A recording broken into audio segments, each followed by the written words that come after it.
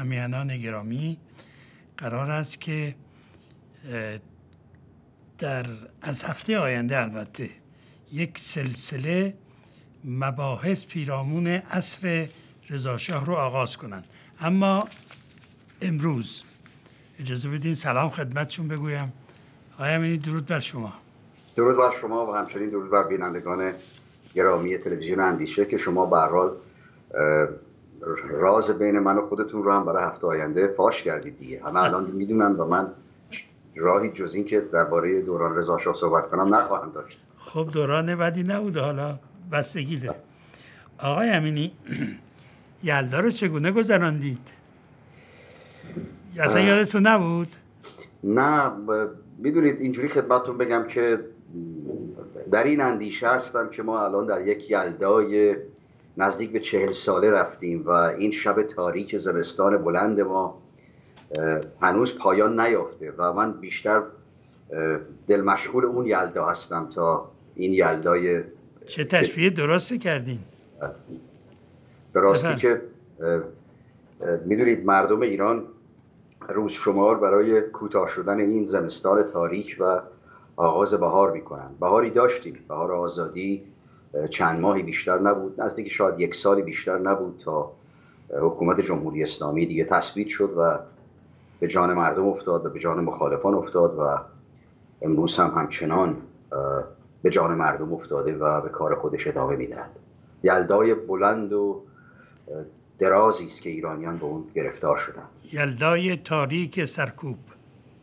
بله. آقای امینی یه سوال دیگه ازتون دارم چون اخیرا شما در برلین بودید. درست در بله، همون یک ماه پنج هفته پیش سخنرانی داشتن در برلین. بله. بله.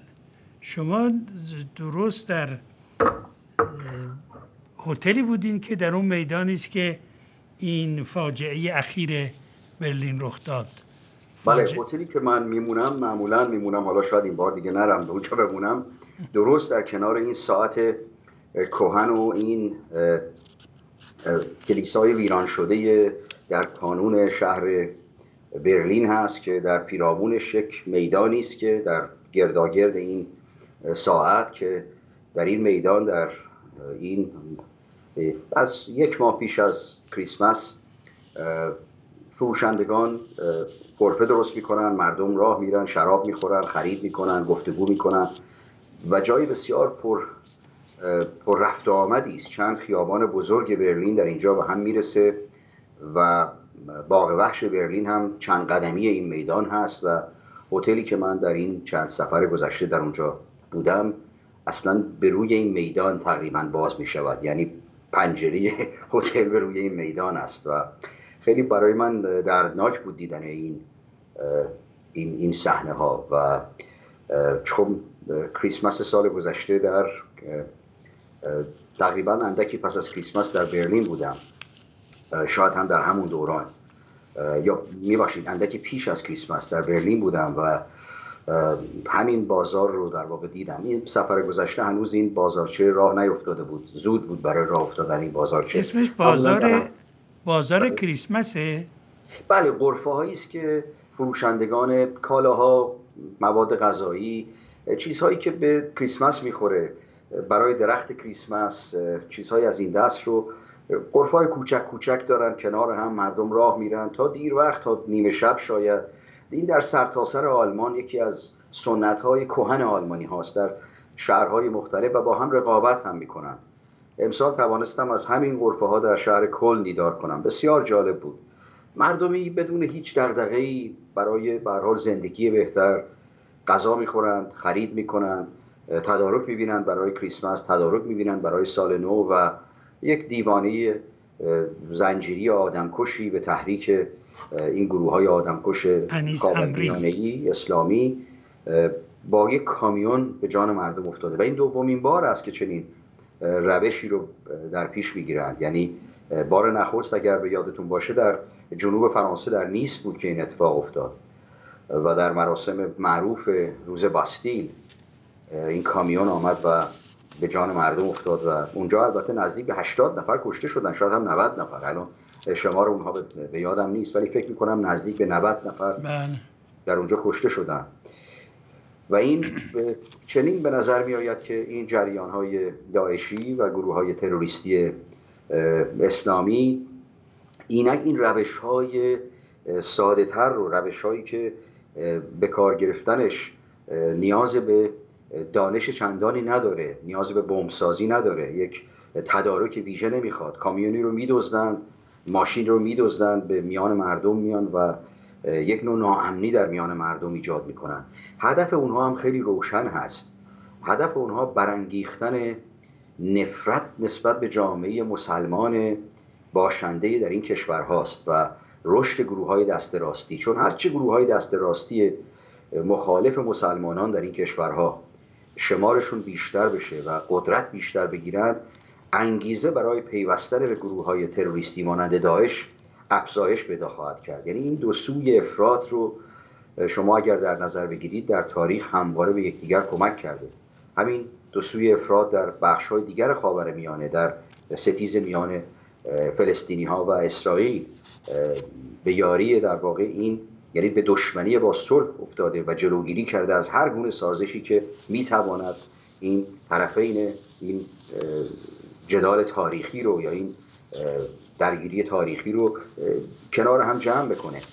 و این گرفتاری بزرگی است که ما خودمون در ایران هم روبرو هستیم. نگاه کنید در همین سازش بسیار بسیار کمرنگ و روی هم رفته ساده ای که انجام شد در ایران. همین برجام. ببینید چه جنجال های گروه های افراطی از دو طرف مخالفانش در ایالات متحده آمریکا و مخالفان اون در ایران به راه انداختند برای اینکه چنین چیزهایی انجام نشود. البته خب ایرادهایی هم به این برجام بوده. موضوع بحث امروز ما نیست. ولی این کوشش ها ایجاد رعب و وحشت در میان مردم یک سرمایه گذاری سیاسی است از سوی گروه های مانند داعش.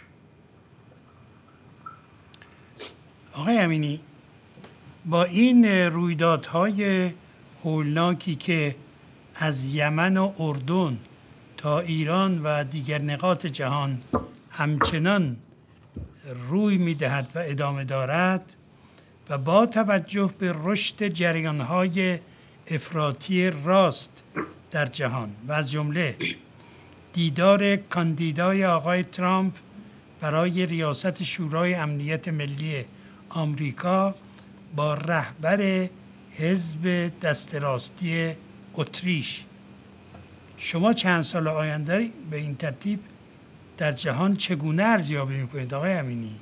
بله. این حزب افراطی اتریش پایگزارش در سال 1956 یکی از افسران اس اس بوده که با ارتش نازی ها یعنی افسر ارتش نازی ها بوده در اتریش او پایه گذاشته. البته امروز اندکی ظاهرا معتدل شده ولی به هر روی گروه دست راستی است که چندان نقد زیادی هم به دوران هیتلر نداره.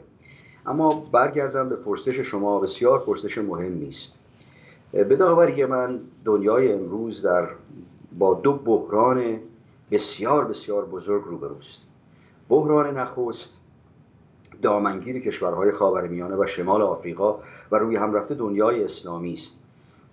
دنیای اسلامی عرب و غیر عرب یعنی تنها دنیای اسلامی عرب رو در بر نگرفته ایران و پاکستان و افغانستان رو هم در بر گرفته و بسیار هم خطرناک است. این بحران پیامد یک شکست بزرگ تاریخی است در این مناطق. یعنی از هنگامی که شاید بتوان گفت که سرآغازش در ترکیه و ایران بوده عثمانی و ایران. یعنی پیدایش فکر مشروطه فکر قانونگرایی در دو کشور بسیار مهم خاورمیانه با دو پیشینه کهن امپراتوری یکی عثمانی و دیگری ایران.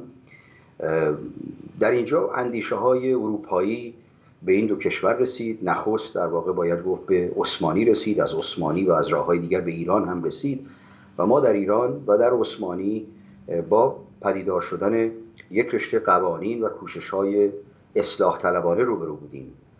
در عثمانی پیش از ایران از جمله از دوران سلیمان قانونی این کارها آغاز شد و سپس به دوران مدرن رسید به دوران تازه تر رسید. در ایران هم پیامد اون مشروطه بود و پیدایش مجلس مشروطه که شاید یکی از نخستین پارلمان های غیر اروپایی در دنیا بوده باشد. به نظر می آمد که اندیشه مدرن اندیشه تجدد اندیشه رویاوری به ساختارهای اداری نو اندیشه حق قانونگذاری زمینی از سوی مردم و پیدایش دولت ملت های مدرن در این سرزمین ها در حال پا گرفتن باشه. با فروپاشی دولت عثمانی و پیدایش دولت ترکیه به نظر می آمد با کارهایی که آتاتورک آغاز کرد و سپس در ایران به دنبال انقلاب مشروطه و به روی کار آمدن رضاشاه به نظر می آمد که این کارها پیگیری بشود. این امید می‌رفت که خاورمیانه اسلامی هم به سوی سکولاریزم و قانونگرایی گام بنهد شوربختانه که پروژه سکولاریزم و دموکراسی در کشورهای اسلامی با بنبست بسیار بزرگی روبرو شد و یکی از دلایل بزرگ این بنبست که بحران کنونی رسیده در این است که سکولاریزم یا دولت‌های بر, بر روی دولت‌هایی که دولت‌های دینی نبودند دولت‌های زمینی بودند با دو گرفتاری اساسی یا شاید هم سه گرفتاری یکیش پیوسته با این دو گرفتاری دیگر روبرو شدن. نخست این که بیشتر این دولت ها یا تقریبا می‌توان گفت تمام این دولت ها ساختارهای غیر دموکراتیک داشتن. تنها شاید در ترکیه بود که ما یک نمونه هایی از رفتار دموکراتیک رو می‌توانستیم در کارزارهای انتخاباتی و گزینش نخست وزیر و اداره جمهوری جامعه ببینیم. در ایران که خیلی زود به یک خودکامگی فردی انجامید در دیگر کشورها بسیار از ایران بدتر شد. یعنی ایران روی هم رفته کشور معتدلی نسبت به کشوری مانند عراق به شمار می آمد جنبه دیگر این گرفتاری بزرگ ساختارهای سکولار در خاورمیانه در این بود که این دولت‌های متمرکز خودکامه آلوده به فساد هم بودند. دزدی و فساد در میان بزرگان دولت ها گردانندگان این دولت ها بسیار پذیرفته بود. البته با معیارهای امروزی که در ایران ما می‌بینیم این دولت ها نمونه ای از پاکدامنی بودند. یعنی دولت های گذشته ایران با همه فسادی که داشتند در قیاس با آنچه که امروز در ایران میگذرد اونها رو باید دولت های پاکدامن و امینی به شمار آورد. چون میزان دزدی ها و میزان فسادی که در اون دوره ها وجود داشت اصلا با میزان فساد نجومی و به کیهان رسیده امروز قابل مقایسه نیست. اما این بحران این گرفتاری این دولت ها با یک عامل دیگری هم همراه شد و اون این بود که دولت های غربی در رقابت با اتحاد جماهیر شوروی چون در اون دوران دنیا تا پیش از فروپاشی اتحاد جماهیر شوروی به دو اردوگاه بزرگ تقسیم شده بود. اردوگاه سوسیالیستی و رهبری شوروی و سپس شکافی که به وجود آمد گروهی هوادار چین و اردوگاه بزرگ سرمایداری و رهبری ایالات متحده آمریکا و هم پیمانان اروپایی اینها در رقابت با اتحاد شوروی از حکومت‌های خودکامه متمرکز در خاورمیانه پشتیبانی می‌کردند. و خب بسیار هم برای اونها غنیمتی بود چون این دولت ها به ویژه کشورهایی که به نفت هم رسیده بودند مانند ایران و عراق و عربستان و دیگر کشورهای منطقه با این درآمد کلان نفتی که متمرکز شده بود و حسابرسی هم به اونها نبود چون دولت های خودکامه بودند و آزادی ها در اونها محدود بود آزادی های روزنامه نگاری از جمله بسیار بسیار محدود بود این است که از این پول بهره می گرفتند و جنگ افزار می خریدند و ارتش های بزرگ درست می کردند که یک نمونه بزرگ اون کشور ما بود و دیگری عراق و کشورهای دیگر. این مدل توسعه شکست خورد. یعنی مدل توسعه که در ایران وجود داشت و در مصر وجود داشت و در عراق. البته اینها مدل های کمیابیش متفاوتی از یکدیگرند. ولی یک زمینه مشترکی داشتن. زمینه مشترک این بود که مدل ها بر پایه یک نظام سرمایداری غیر لیبرال بنا شده بودند خودکامه بودند. حالا خودکامه فردی به دور یک رهبر نظامی مانند صدام یا یک پادشاه مانند ایران و روی هم رفته کشورهایی بودند که در جبهه بندی های میان غرب و شرق جانبداری گرفت. یعنی جانبی که از این دوره گرفته بودن عراق و سوریه به طور تاریخی با اتحاد جماهیر شوروی بودند. پیشتر هم مصر تا پیش از پیش از دولت یعنی پس از تا زمان ناصر و سپس دیگری کشورها بیشتر با غرب بودند با آمریکا بودند. این مدل توسعه به پایان رسید فرو, فرو پاشید آغاز اون هم از انقلاب 57 بود. یعنی با فروپاشی دولت پهلوی در ایران ما شاهد فروپاشی این گونه دولت ها در خاورمیانه بودیم. و می‌توان گفت آخرین نمونه فروپاشی در به اصطلاح بهار آزادی در مصر بود که اینک البته با با این حرکت نظامی نیمچه کودتای نظامی دوباره یک حکومتی شبیه حکومت گذشته سر کار آمده بسیار لرزان و بسیار بیثبات هست. سکولارترین کشور دنیای اسلامی که بیرون از این منطقه خاورمیانه کشورهای دیگری هستند که مانند اندونزی و مالزی همچنان با ثبات و روی هم رفته یک نوع ساختارهای دموکراتیک یا نیمچه دموکراتیک در اونها چیره است. من بیشتر به این خاورمیانه و شمال افریقا می‌پردازم. در دموکراتیک ترین نمونه کشور اسلامی که ترکیه باشه ما با یک پسگرد روبرو هستیم. می‌بینیم که هر روز قدرت نیروهای مذهبی در ترکیه بیشتر می شود و رو به سوی یک خودکامگی مذهبی ترکیه نهاده. در در, در واقع وجود شخصیتی رهبر کنونی ترکیه امروز که به نظر می آید که می‌خواهد یک نوع خلافت عثمانی رو در قالب دنیای جدید زنده بکند ما با یک رویکرد گسترده به سوی دین روبرو هستیم. بحرانی که در دنیای اسلامی در گرفته بحران رشد جریانهای تندروی اسلامی است که از ایران آغاز شد و به ولایت فقیه انجامید و صورت سنی اون اهل سنت آن به صورت القاعده و امروز داعش در برابر ما نهاده شده و ولایت و خلافت در برابر هم قرار گرفتند و دنیای خاورمیانه رو دگرگون کردند. این بحران بزرگ ناشی از یک چیز است. شکست بزرگ شکست به حال بسیار بسیار بزرگ جریان های دموکراسی خواهی و جریان های مدرن سازی به سبک اروپایی در دنیای اسلامی به راستی باید گفت که جدا از فساد و خودکامگی و غیره ناشی از این است که در دنیای اسلامی در فقه اسلامی ما شاهد یک جریان اصلاح طلبی جدی نبودیم. اصلاحاتی که در دنیای مسیحی به وجود آمد در دنیای اسلامی به وقوع نپیوست. البته این رو هم باید بیافزایم برای اون دست از همیهنانی که شاید آگاه نباشند یک تفاوت بزرگ مسیحیت با اسلام در این است که مسیحیت دارای فقه نیست. دستگاه فقهی به صورت فقه اسلامی نداره.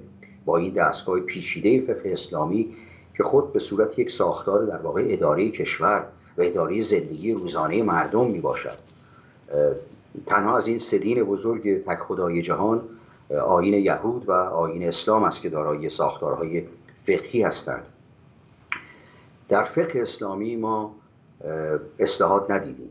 و به نظر می آید و داوری و باور من این است که تا هنگامی که ما با یک جنبش نیرومند اصلاحات فقهی اصلاحات در ساختار دینی در این کشورها روبرو نباشیم و بزرگان دین تن به این اصلاحات ندهند پا گرفتن دموکراسی در این کشورها با دشواری های زیاد روبرو خواهد بود و تنها حکومت های بسیار خودکامه و نظامی می توانند در برابر این قدرت مذهبی بیستند. مانند کاری که در مصر انجام شد. تجربه با آزمون مصر نشان داد که دموکراسی در مصر می تواند به قدرت رساندن نیروهای مذهبی رو به دنبال داشته باشه. همونجور که ناتوان شدن دولت پادشاهی در ایران به فراز رژیم جمهوری اسلامی انجامید در مصر هم این دموکراسی نیمبندی که به وجود آمد پس از فروپاشی دولت مبارک به انتخاب دولت اخبار المسلمین انجامید و جریانهای مذهبی پا گرفتن در مصر. و به نظر می آید که نیروهای سکولار در مصر آنچنان ناتوان بودند که تنها یک کودتای نظامی و یک رویاوری به شخصیتی مانند مبارک در یک رخت نظامی می توانست جلوگیری کند از پیشرفت این آنچه که در مصر به وجود آمده بود. و در واقع امروز هم در این کشورها گفتگو بر سر همین است که آیا در مثلا سوریه راهی جز رویاوری به سوی حکومتی ماننده بشار اسد وجود دارد و اگر بشار اسد کنار برود آیا دموکراسی در سوریه پا خواهد گرفت؟ یا جریان های تندروی مذهبی که تازه در میان اونها مخالفان بشار اسد نسبت به القاعده و نسبت به داعش تازه معتدلتر به شمار می آیند ولی اونها هم از آدمخواران بروج مذهبی به شمار می آیند یعنی مدرن نیستند دنبال دموکراسی نیستند. یک نوع حکومت دینی رو به صورت دیگر در سوریه می خواهند بنابراین بحران بزرگی در دنیای اسلامی به وجود آمده. این بحران فراز جنبش های مذهبی در همه این کشورهاست که به داوری من با قدرت نظامی نمی‌توان آن را متوقف کرد. ما باید شاهد یک جنبش نیرومند اصلاحات فقهی باشیم اصلاحات دینی باشیم. آماده ترین کشور برای دست زدن به این اصلاحات ایرانه. چون ما نزدیک به چهل سال یک حکومت دینی رو با گوشت و پوست و استخوان و زندگی و روح و روان خودمون آزمون کردیم و مردم ایران رنج این حکومت رو بر, بر جان خریدند ناخواسته و می‌دانند حکومت دینی به چه معناست. وعده ای که حکومت های دیگر نیروهای اجتماعی دیگر برای حکومت دینی می‌دهند مانند حماس و القاعده و داعش ما در ایران آزمون کردیم. این است که کشور ما شاید هم به دلیل جوان بودن یا ترکیب جوانان میزان آموزش در میان مردم و رویاوری بسیاری از ایرانیان به فرهنگ های غربی شاید آماده ترین کشور برای دست زدن به یک اصلاحات بسیار بزرگ دینی باشد و شاید از دیگر کشورهای اسلامی ما آمادگی بیشتری برای همراه شدن با دنیای مدرن رو داشته باشیم.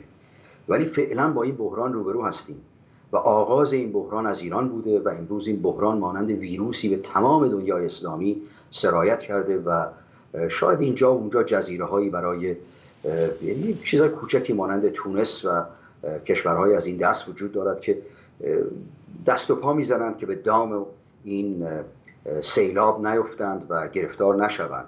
ولی می‌دانیم در تونس هم بیشترین شمار کسانی که به طور سرانه از کشورهای اسلامی به داعش پیوستند از تونس بوده. این بحران پیامدهای دردناکی برای دنیا دارد و یکی از دو بحران بزرگ جهان امروز است.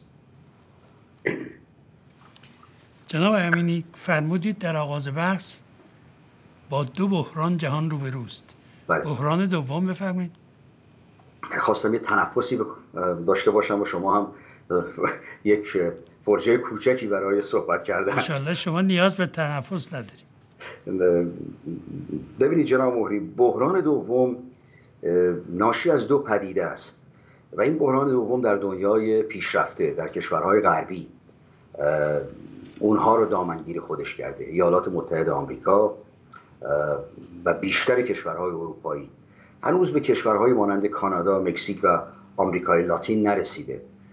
دلالی که خواهم گفت کاملا نرسیده ولی اونها رو هم در بر خواهد گرفت. شاید یک بخشی از این دو بحران دو سویه بحرانی که دارای دو جنبه هستش به این کشورها هم رسیده ولی یک جنبه دیگری که اشاره خواهم کرد به اونها نرسیده. این بحران بخشی از این بحرانی که در دنیای پیشرفته در کشورهای صنعتی در کشورهای توسعه یافته جهان در اروپا و ایالات متحده آمریکا ما شاهد اون هستیم ناشی از فرایند گلوبالیزم یا جهانی شدن. جهانی شدن پروژه پیشرفت رو بسیار شتابان کرده و در این شتابان کردن پروژه پیشرفت بخشی از مردم مانند انقلاب صنعتی مانند دورانی که به دنبال انقلاب صنعتی بسیاری از روستاییان توحیدست شدند و به سوی شهرها آمدند. و یک جنب و جوش بزرگ اجتماعی در گرفت. این جهانی شدن هم بخش بزرگی از مردم رو با خودش همراه نداشته و نتوانسته اونها رو از این مواهب و از این امکانات جهانی شدن بهرهمند کنه. در ایالات متحده آمریکا بسیاری از این کسانی که از این کاروان جهانی شدن بهره ای نگرفته بودند از آقای ترامپ پشتیبانی کردند. کارگران سفید پوست و طبقات میانی جامعه بیشترشون به ایشان رأی دادند. به خاطر اینکه از این کاروان جهانی شدن بیشتر زیان دیدند تا بهره بگیرند. در کشورهای اروپایی هم چنین هست. حالا در این بستر بحرانی که به دنبال جهانی شدن بخشی از این جوامع رو به طور ناگزیر در بر گرفته ما به دنبال بحران اول در دنیای اسلامی با یک حجوم گسترده کوچ گسترده لگام گسیخته مردم از کشورهای خاورمیانه از عراق از سوریه از شمال آفریقا که کشورهایی در حال فروپاشی هستند به سوی اروپا روبرو هستیم و از اروپا هم به سوی آمریکا کمتر و یا از جنوب آمریکا جنوب کشورهای جنوب ایالات متحده آمریکا به سوی آمریکا منتها نه با ایده های اسلامی برای جستجوی کار و زندگی. اونهایی هم که از کشورهای مانند سوریه و عراق و شمال آفریقا به اروپا میآیند در راه در جستجوی زندگی بهتر هستند. از درون کشورهایی که فرو پاشیده از اقتصادهایی که حتی مردم رو برای نان شب عاجز کرده افسون بر این در این بحران هایی که نمونهش رو در حلب می‌توان دید مردم رو از خانه و کاشانه خودشان کاملا رانده و مردم حتی برای زندگی ناچار به گریز از این کشور هستند. بخش بزرگی از مردم سوریه امروز در کشورهای پیرامون سوریه زندگی می کنند در اردن فقیر در لبنان. امروز نزدیک به 17 درصد جمعیت لبنان رو پناهندگان سوری تشکیل می‌دهد. در ترکیه بیش از یک میلیون نفر در ترکیه هستند و بیش از یک و نیم میلیون نفر به اروپا کوچیدند در این یکی دو سال گذشته چند سال گذشته. و این بحران اون بحران نخست به این بحران دوم که در اروپا به دنبال جهانی شدن اروپا رو هم در بر گرفته و آمریکا رو هم در بر گرفته گرفتاری هایی رو برای خودش ایجاد کرده به این بحران افسودند و این باعث شده که ما با یک جریان روی مخالفت با خارجی ها به ویژه مخالفت با مسلمانان خارجی در اروپا و آمریکا روبرو باشیم. که همونجور که در یک دورانهای بحرانی مردم تویده از شده گرفتاری رو از خارجی ها می‌بینند امروز این مسلمان بودن این مهاجران و اون جریان های تندرو مذهبی در این کشورها خیلی ها رو به این داوری رسانده که گرفتاری این کشورها از این مسلمانان کوچنده است و این رویدادهایی که اشاره کردید مانند رویدادهایی که در این یک سال گذشته در فرانسه در بروکسل در آلمان و در کشورهای دیگر اروپایی ما شاهد اون بودیم. شاید کمتر از مثلا آنچه که در فرانسه روی داده یا در بروکسل روی داده در خود ایالات متحده شاهد اون بودیم.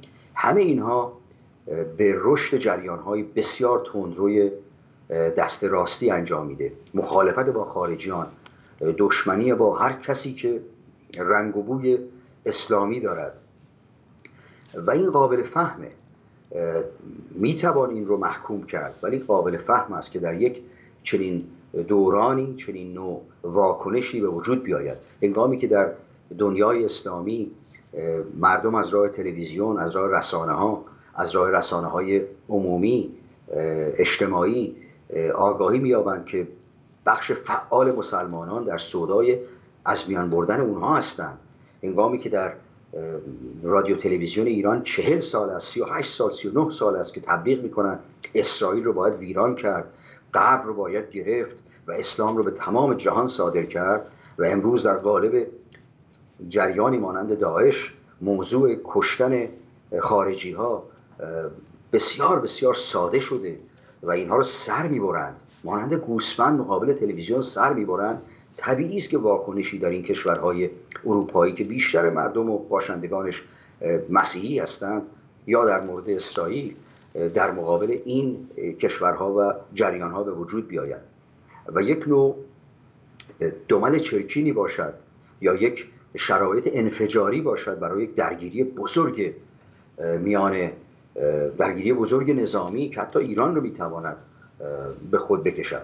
این است که ما با این دو بحران بزرگ جهانی رو برو هستیم و برای پایان دادن به این دو بحران راهی جزی نیست که خردمندان کشورهای آن سوی یعنی کشورهای اسلامی و خردمندان این سوی کشورهای غربی به خود بیایند و دریابند که راهی جزی نیست که در آن سوی باید یک رشته اصلاحات بزرگ دینی انجام بشود و در این سوی غربی ها بپذیرند که راهی جز شکیبایی برای اینکه دنیای اسلامی هم همان دگرگونی هایی رو که دنیای مسیحی 200 سال پیش 400 سال پیش در دوران رفرماسیون از رفرماسیون آغاز شد و با دوران مدرنیته به انجام رسید.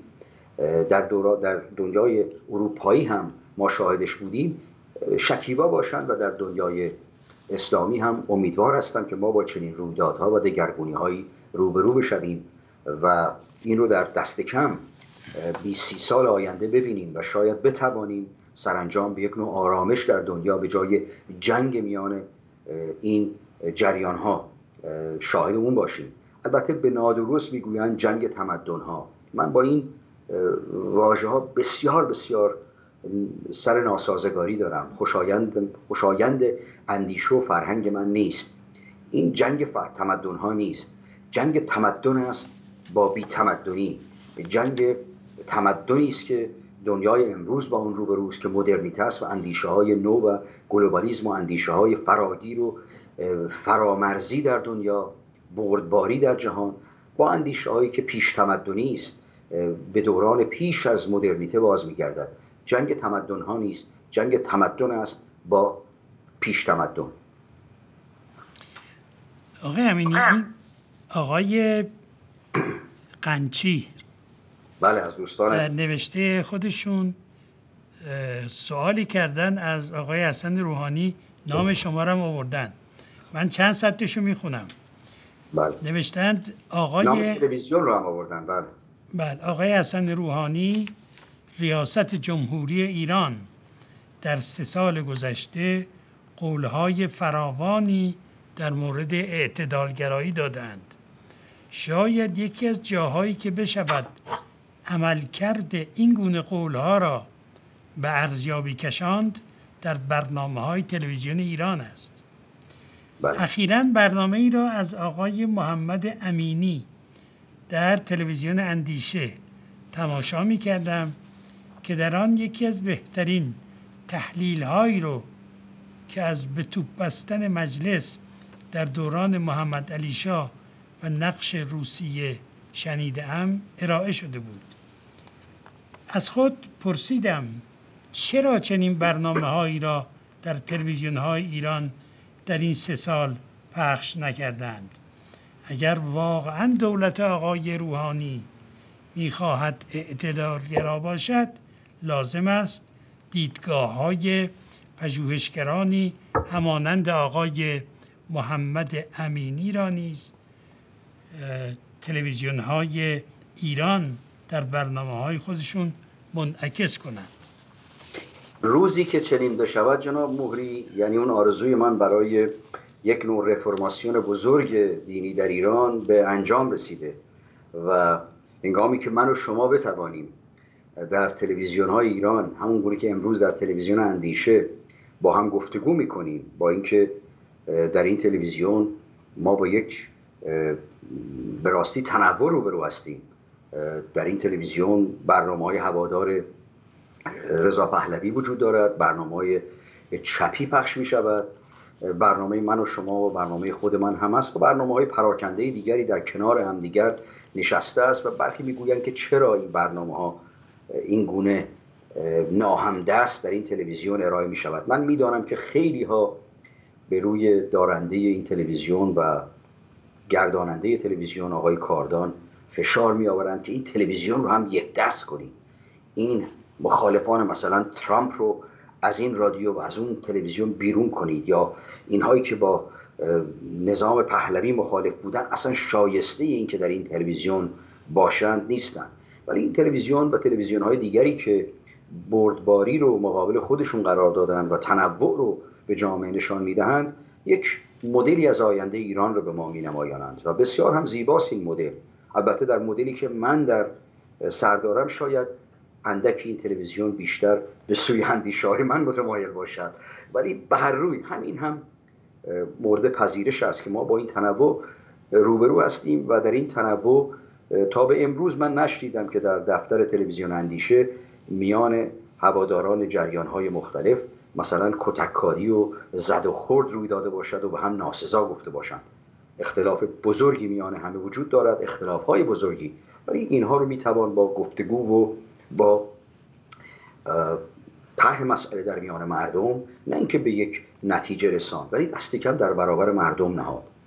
اما ایران چنین نیست. ایران در دست یعنی رسانه ها در دست اندیشمندان بزرگی مانند آقای شریعت مداری است. آدم های مانند ایشان تعذیگردان رسانه ها هستند و مخالفان مسلمان متعصب هوادار ولایت فقیه رو هم بهش رحم نمی کنند تا چه برسد که یک روزی به من و شما هم فرجه بدهم که برنامهمون در تلویزیون پخش بشود. امیدوارم چنین بشود. از خوشبینی آقای قنچی بسیار سپاسگزارم. نامه بسیار جالبی رو نوشتن.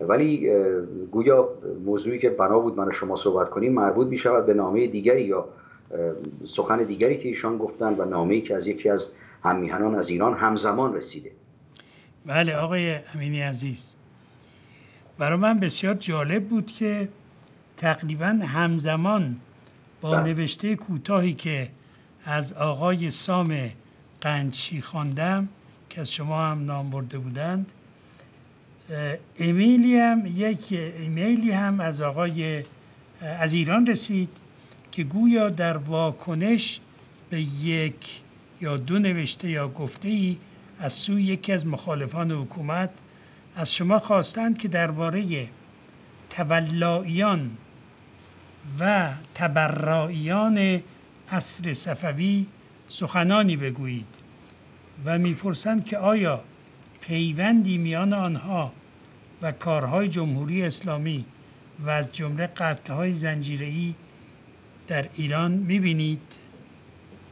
جناب مهری چند ساعت؟ از وقت ما باقی مونده که من به این بپردازم. می‌تونی با آینده موکول کنیم. فعلا که مختصری بفرمایید. بسیار بسیار موضوع مهمی است که پژوهشگران کم به اون پرداختند. یعنی به ماجرای تبلایی و تبرایی اشاره شده در تاریخ صفویان. ولی به اون واقعا پرداخته نشده که این ریشه از کجا داره و چگونه مانده و آیا مانده در تاریخ و امروز هم آیا نمونه های از اون رو ما می‌بینیم. باز میگردد این موضوع به یک پدیده تاریخی در ایران و در دنیای حتی اسلامی بیرون از ایران. به این معنا که اگرچه تولایی و تبرایی یک پدیده امروز یا دوران صفوی پدیده شیعی است ولی ریشه تاریخی کهنی داشته. تولا یا یک نوع اظهار ارادت و دوستی نسبت به کسی در گذشته به صورت مناقب خانی در میان شیعیان که در مورد درباره علی و خاندان اهل بیت میخواندند و همچنین فضیلت خانی در میان اهل سنت در مورد چهار خلیفه همواره وجود داشته. در دوره صفوی این تبدیل شد به جریان نیمه نظامی جریان نیمه رسمی نظامی و سپس رسمی نظامی و تبدیل شد به دسته های تبلایی و تبرایی. در مورد این مسئله تولا و تبرا یا تولا به علی و خاندان علی و تبرا یا دوری جستن بیزاری جستن بیزاری از سه خلیفه پیش از علی ابن ابی طالب از میان این چهار خلیفه ای که بنا بود چهار, چهار نفری باشند که پس از محمد ابن عبدالله اسلام رو بنا بود رهبری کنند. دشمنی نسبت به این سه خلیفه اول که شیعیان اونها رو قاسب می‌دونند و معتقد هستند که بنا بوده علی جانشین پیامبر بشود و گویا اونها این رو از علی دزدیدند. و این دشمنی از همون زمان آغاز شده. در میان شیعیان در میان اهل سنت پوزش می‌خوام. این دشمنی با علی وجود نداره. علی ابن ابی طالب رو یکی از چهار خلیفه اول می‌دانند خلفای راشدین. و به او احترام می‌گذارند ولی او رو به مقامی که شیعه میرساند نمیرساند. اما شیعیان سه خلیفه پیش از علی رو قاسب می‌دانند و اصلا اونها رو دشمن خلافت علی و به ویژه با عمر سخت دشمنی دارند. حالا چرا همین دشمنی با ابوبکر و عثمان اندازه نیست با عمر است؟ برمیگردد به این افسانه‌ای که درست کردند. افسانه افسانه‌ای که می‌دانیم که ساخته شده است چون نخستین نوشتارهای مربوط به دوران پیامبر اسلام و آغاز اسلام 140 150 سال پس از آغاز اسلام فراهم شده و بسیاری از اینها سینه به سینه بازگو شده و بسیاری از اینها اصلا پایه در راستی های تاریخی نداره. و بسیاری از احادیث و روایات هم به یه نفر برمیگرده از اموزادگان پیامبر اسلام. به عباس برمیگرده. همه اونها رو از بازگو می‌کنن. ولی جدا از همه این داستان ها که درست کردند چون عمر رو آدمی می‌دانند که رفته و انگامی که ابوبکر در اون نشستی که در در اون جایی که بزرگان عرب جمع شده بودن بزرگان قریش و دیگران جمع شده بودن سقیفه. سقیفه. سقیفه سقیفه بله. جایی که سقف داشته دیگه چون می‌دونید اونها جای سقفدار نداشتن. در سقیفه جمع شده بودند و ابوبکر رو انتخاب کرده بودند. گویا عمر رفته اینها همش افسانه است. عمر رفته و غلام عمر با با لگت در خانه علی رو شکسته و در خورده به, به شکم فاطمه و فاطمه فرزندی رو که در شکم داشته انداخته. و این رو کشان کشان آورده به مسجدی که همه جمع بودن که او هم با ابوبکر بیعت بکنه. این افسانه رو ساختن و این دشمنی با عمر و عمر سوزان رو در دنیای اسلامی شیعی روان کردن. تولا و تبرا رو در دوران صفوی بزرگ کردند. یعنی اصلا شاه اسماعیل صفوی هنگامی که آمد در چهارده سالگی تبریز رو گرفت دسته های تبلایی و تبرایی رو رواج داد. البته این پدیده پدیده دوران فقط صفوی نیست. ما در تاریخ بیهقی نشانه هایی داریم که در دوران سلطان مسعود غزنوی که خود او و سلطان محمود غزنوی اهل سنت بودند و پیورزی و تعصب نسبت به آین اهل سنت داشتند و دشمنی زیادی با باطنی ها و شیعی ها و اسماعیلیان داشتند اینها رافضی رو میخواندن. از اون زمان در واقع نشانه های از وجود دسته های از این گونه رو داریم. به اینها در اون موقع می‌گفتند مزکا و معدل و جنباشیان. دسته جنباشیان رو بیهقی در چند جا یاد کرده که این جنباشیان کسانی بودند که شاه غزنوی اینها رو میفرستاده برای برانگیختن پشتیبانی از پادشاه و خیلی از اینها میترسیدن از این جنباشیان. عبارتی رو برای شما بخوانم از تاریخ بیهقی در اینجا. این در در مورد در مورد همین دوران مسعود مسعود غزنوی. است هیچ هیچ کس را زهره نبود که شراب آشکار خوردی که جنباشیان و مقتصبان گماشته بود و ایشان را سخت گرفته. و یا در جای دیگر می‌گوید لشکر و غلامان و مردم شهر پذیرفته شدند. و شهر را ضبط کردند و جنباشیان گماشتند. این جنباشیان ریشه این واژه جون رو البته معلوم نیست که کدام یک از این دو روایت درست باشه. جنب خب از جنبیدن و جنباندن و جنبش و همه اینها از این با این واژه پیوند داره. آقای سه دقیقه وقت داریم. جدا فقط؟ سه دقیقه و چهل ثانیه. بله به چیزی نرسیدیم گفتم که بله. این برخی می‌گویند که این جنب در واقع از واژه دیگری آمده از واژه اوستایی جن آمده که به جان مربوط می شود یعنی کشتن. و این جنباشیانه نه جنباشیان ولی به هر روی ریشه های تاریخی این دسته های سرکوب کن که بیشتر دسته های اوباش شهری بوده که پادشاه از اونها بهره می گرفته برای ایجاد بیم و حراس در میان مردم این رو شاه اسماعیل صفوی رسمی می‌کنه و این رو تبدیل می‌کنه به دسته های تبلایی و تبرایی. و اینها دسته هایی می‌شوند که در آغاز کار دسته های غیر رسمی بودند برانگیخته می‌شدند و در همون دو سه هفته نخستی که شاه اسماعیل وارد تبریز می شود این دسته های تولاخ تولاهو و تبراخان اینها به میان مردم میفتند و بیش از 20 هزار نفر از مردم تبریز که اهل سنت بودند می‌کشند تا همه اهالی تبریز یا شیعی می‌شوند یا اونهایی که اهل سنت و وفادار بودن از شهر فرار می‌کنند و می‌روند مثلا به هرات که اونجا رو هم وقتی شاه اسماعیل می‌گیرد اونجا هم به جان اهل سنت میافتد و شیخ تفتازانی رو که بزرگترین بزرگترین شیخ اهل سنت بوده دستور می‌داد که ببندند و تیکه تیکه گوشت از بدنش جدا می‌کردن تا در چند هفته او میمیرد. این دسته های تبلایی و تبرایی پس از چند سالی بخشی از سپاه صفوی می و در سپاه شاه تحماسه فرزند شاه صفوی اصلا جایگاه رسمی داشتند.